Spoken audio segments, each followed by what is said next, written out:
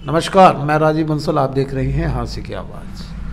कहते हैं कि शादी एक ऐसा पवित्र बंधन होता है जो गृहस्थी बसाने के लिए सात जन्मों का संबंध हमारे शास्त्रों के मुताबिक माना जाता है।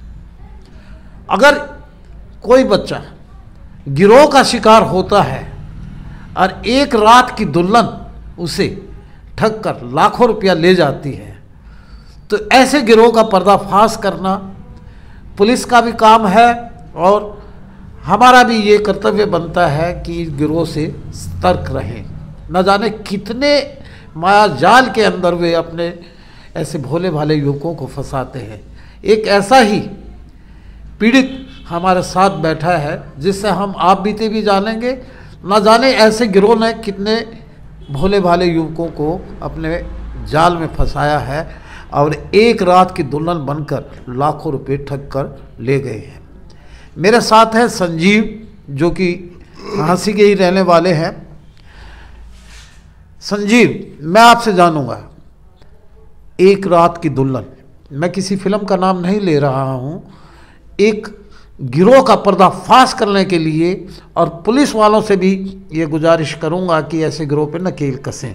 संजीव मैं आपसे जानूँगा कि आपके साथ क्या बीती और आपको कैसे शादी का झांसा देकर वो लाखों रुपया एक गिरोह का सदस्य आपसे ठग कर ले गया। जी, वो दिलबाग था जी। दिलबाग मेरे पास आया, बोला, तेरी शादी करा दूँगा। और मेरे से बोला भी तेरी शादी हो जाएगी, मेरे घर आया। और मेरी माँ से भला शादी हो जाए काफ़ी दिनों से मेरे पीछे ये दिलबाग कौन है? कहाँ का रहने वाला ये दिल, है? दिलबाग है जी उम्र के रहने वाले है जी और यहाँ रहते हैं। और ये सीसाई पुल पे रहता है। और ये मेरे को बोला चल तेरी शादी करवाएँगे और तेरी शादी हो जाएगी। बोला इतने पैसे लगेंगे। मैं बोला मौला ने मैंने नहीं करानी। फिर भी बावजूद ये मेरे घर बिना फ़ोन करे ही आता रहा। और मेरे पास फुटेज रोज़ रोज़ आता रहा। मैं मना करता रहा इसको। और फिर इसने ना मेरी आप मना किए आपने मना किया। फिर ये आपकी माता जी से भी बात करता रहा। फिर ये मेरी माता के पास आया। इस मेरे घर विवाह चल रहा था। ये मेरी माता के पास आया। बोला बोला इसकी शादी हो जाएगी अच्छा हो जाएगा। माँ तो फिर मेरी माँ ने पैसे दिए कहीं से नहीं लाकर ब्याज पर कैसे भी इसको इकट्ठे करके। कितने रुपए की मांग की इसने? इसने एक लाख पच्चीस हज़ार की मांग की और बोला एक लाख पच्चीस हज़ार रुपये में इतना होगा मैं कम नहीं हो सकता क्या बोला है कम नहीं होगा। और बोला, इतना ही होगा। फिर मैंने इसको एक लाख दस हज़ार रुपये इसकी जेब में डाल दिया और पंद्रह हज़ार मूला खर्चा करते रहेंगे। फिर वापसी ये आया, मेरे को दिल्ली ले गया। दिल्ली इसने मेरे साथ शादी करवाने का लड़की दिखाई है ऐसे है, वैसे एक पार्टी से मिलवाया।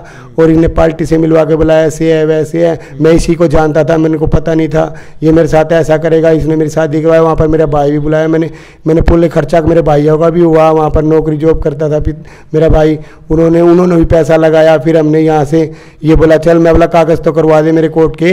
भाई शादी करवा दी मंगलसूत्र फिर आ दिया था सारा काम करवाने में बोला शादी की मेरी मंगलसूत्र बोला अभी मेरे बुखार हुआ है अब थक गए हैं और मैं घर आ जाते ही तेरी वाइफ ये उस लड़की को आपके घर ले आए। हमारे घर हम दुल्हन। हम उनको दुल्हन बना कागज़ बनाए दुल्हन हाँ वो दुल्हन बनाकर मंगलसूत्र पिराकर मांग में सिंदूर बनाकर दुल्हन बनाकर मेरे घर ले आया। घर गाड़ी वाले बोले भाई अच्छा हो गया भाई सारा रीति रिवाज से हमने प्रोग्राम किया। तो इतनी देर में ही मतलब मेरे को बोला स्वागरात नहीं मनानी तुझे। और बोला आ जा तो सारे मंदिरों में जा कर के तूने धोख मार कर सुच्चे ही झूठी नहीं ले जाते। सुच्ची ही ले जाकर तू सुबह स्वागरात मना। एक ही दिन की तो बात है एक दिन रुक जा और सुबह दोग दाग मार कर फिर अगले दिन मनाया हमने खर्चा किया और इसने ना रातों रात वो दो घंटे में ही गायब हो गई और वो तकिए लगाकर चली गई और मेरा फ़ोन लेके तकिए लगाकर चली गई तकिए लगाकर बोले हम तो सोचे ये तकिए के नीचे वही सूती होगी हमने सवेरे चाय का टाइम मिलाया तो हमें तकिए मिले और मैंने इसके पास गया तो इसकी इसकी माँ ने इसकी बीबी ने कहा वो है ही नहीं घर पे और ये बुखार का बोला बुखार है ऐसे बीमार है। अच्छा वो भी फरार हो गया और वो हाँ, जहाँ वो मेरे को- लड़की नव दुल्हन बन के आई थी हाँ, वो भी- तकिए लगा के हाँ, वो वहाँ से फरार वो फरार हो गए। मैं उनके घर जाते फ़ोन करता था कभी उसके बच्चे फ़ोन उठाते कभी उसकी ऐसे बोले है ही नहीं है ही नहीं। मैं परेशान हो गया मेरा मरने का लिए। दिल करने लग गया। फिर मैं मरने की सोचने लगा मेरे को ये मिले नहीं मेरे को दिखाई नहीं दिए मेरे को दो दिन बीत गए।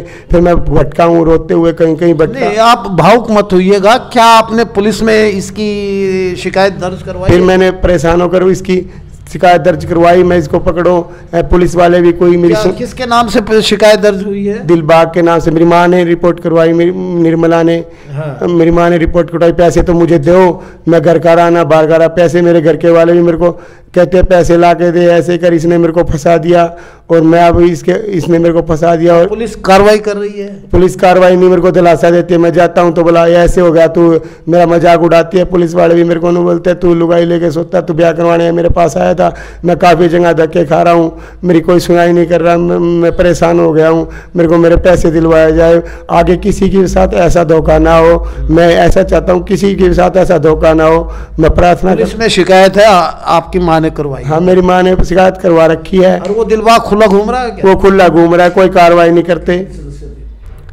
सदस्य अच्छा इस गिरोह में आपको पता लगा हो क्योंकि आप तो वहाँ गए थे। कितने ऐसे सदस्य हैं? सदस्य पाँच? पाँच सदस्य थे दो हिसार के मिलवाए ऐसे बोला मैं उनको जानता नहीं यही लेके आया था इसी ये था एक ये लेके आया बोला चल चल मैं बोला किसी आज मौजूद आदमी को ले लूँ उन्होंने तो विश्वास नहीं है मैं मेरे गाँव का उम्र का मैं इसको पकड़ के ले आऊँगा ऐसे करूँगा ऐसे ऐसी बातें करके मेरे को भुका पे लसला कर ले गया भाई यहाँ आंसी में भी किसी को शो मत करियो तेरा घर बस जाएगा मैं इसकी धोखों में आ गया वो मेरे से भी लुक रहा है पुलिस कोई कार्रवाई पुल, पुलिस का? पुलिस दिलासे दे रही है मैं जाता ये थे संजीव कुमार।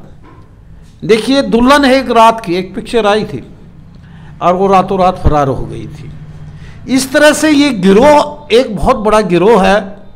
हम पुलिस के आला अधिकारियों से ये गुजारिश करते हैं कि इस तरह से भोले भाले, ये दिहाड़ी मजदूरी करता है और कोई ठगी बग्गी बिल्कुल नहीं करता, दिहाड़ी मजदूरी करता है और खेत में काम करता है और जिसे कहते हैं कि अपना भरण पोषण अपनी माँ का भी करता है।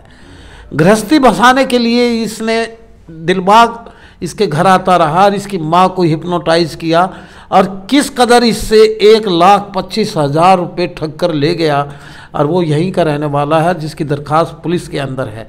न जाने ऐसा कितना बड़ा गिरोह है, ये नेक्सस है कि जैसे भोले भाले युवकों को शादी का झांसा देकर और एक रात की दुल्हन बनकर और फरार कर दी जाती है।